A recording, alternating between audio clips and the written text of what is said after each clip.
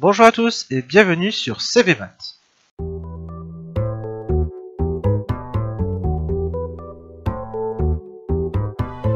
Problème de l'avant 16.4 Un certain nombre positif n inférieur à 60 donne un reste de 1 si on le divise par 2, un reste de 2 si on le divise par 3, un reste de 3 si on le divise par 4, et un reste de 4 si on le divise par 5. Quel est ce nombre n? Vous pouvez mettre en pause la vidéo pour résoudre ce problème. Donc si on le divise par 2, il reste 1. Donc ça veut dire que ce nombre n est un nombre qu'on dit impair. Donc il se termine par 1, 3, 5, 7 et 9. Si on le divise par 3, il reste 2. Donc ça veut dire que la somme de ces chiffres, A, B, C, si n est égal à ABC, ça veut dire que A plus B plus C, donc si on fait A plus B plus C moins 2, alors on aura un multiple de 3.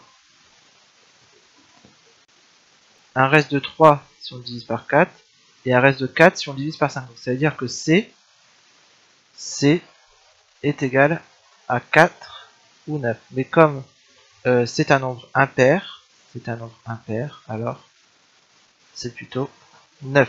Donc C, c'est égal à 9.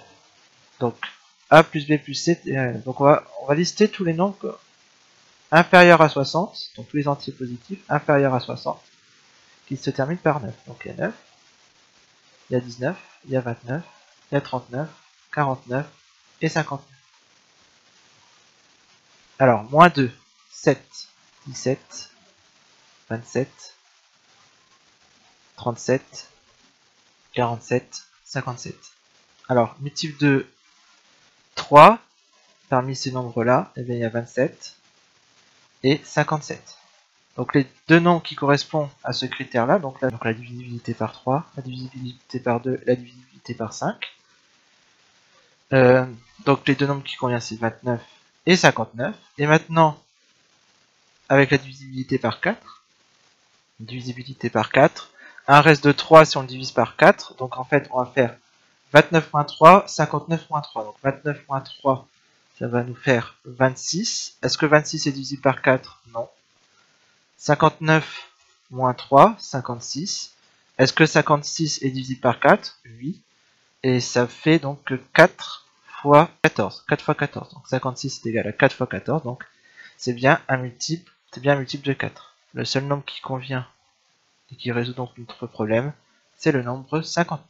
voilà, le problème est maintenant résolu. Si vous avez des questions ou des remarques, vous pouvez poster un commentaire en bas de la vidéo. Si vous voulez être tenu au courant de la sortie des prochains épisodes, vous pouvez vous abonner à la chaîne YouTube CD Maths. Et d'ici là, portez-vous bien et à la prochaine.